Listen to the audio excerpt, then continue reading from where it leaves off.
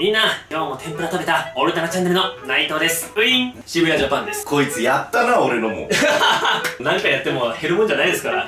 この人頭おかしいわ おかしいな、確かに。渋谷ジャパンですはい。おお、なんだこれはクレヨン120色わ懐かしい匂いだーわかるなんか幼稚園の匂いだね。この120色のクレヨンをうん混ぜて溶かしたら何色になるのかポリポリ食べないでよ。食べねえよ後ろ側をうん。細く切ってあー、なるほど。ちょっとずつ混ぜ合わせるってことですね。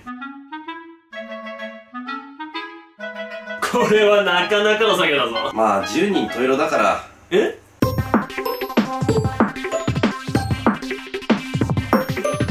いいねペース上がってきたよこれ今日時給900円。高いな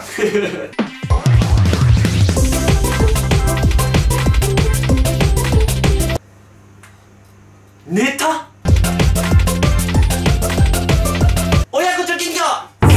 ました。全部完了。これが全て切り落としたものになります。あんたりあ顔。あち。熱くない？熱くないんかい？湯煎したら溶けんのかな？さすが優先系 YouTuber だから人間と一緒だよね。え？やっぱどんなに綺麗な人が集まってもうん何人もいればうんどす黒くなる。何その実体験に基づいた深い話みたいな。あ でも溶けてきた。チョコみたいに溶けてきた。うわチョコレートだよこれ。ちょっとこれ固まさせるか一応。うん。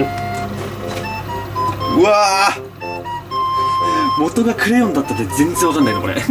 チョコレートよりチョコレートらしいもん。ーこれちょっとじゃあ冷やしてうん。固まらしてみますか。はまさしく俺の心のように。い 冷やしたら綺麗な色になってるかもしれない。